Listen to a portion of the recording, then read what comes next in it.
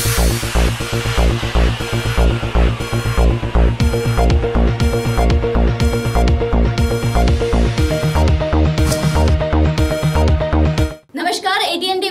आपका स्वागत है। महाजीत हासिल करने के बाद नरेंद्र मोदी एक बार फिर प्रधानमंत्री पद की शपथ लेने को तैयार है। गुरुवार को राष्ट्रपति भवन में नई सरकार का भव्य शपथ ग्रहण समारोह होगा। 2014 में सार्क देशों को बुलाने के बाद इस बार केंद्र सरकार ने नरेंद्र मोदी के शपथ समारोह में बिम्स्टेक देशों के प्रमुखों को आमंत्रित किया है, जिनमें बांग्लादेश, म्यांमार, श्रीलंका, थाईलैंड, नेपाल और भूटान शामिल है।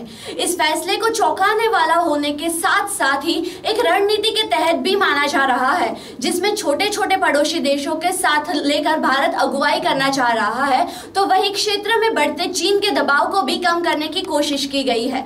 गौरतलब है कि 2014 में जब नरेंद्र मोदी ने शपथ ली थी तो उन्होंने नवाज़ शरीफ को बुलाकर सबको चौंका दिया था, लेकिन इस बार नरेंद्र मोदी ने पाकिस्तान को नहीं बुलाया है। हम आपको बता दें कि लोकसभा चुनाव में भी पाकिस्तान एक अहम मुद्दा रहा था।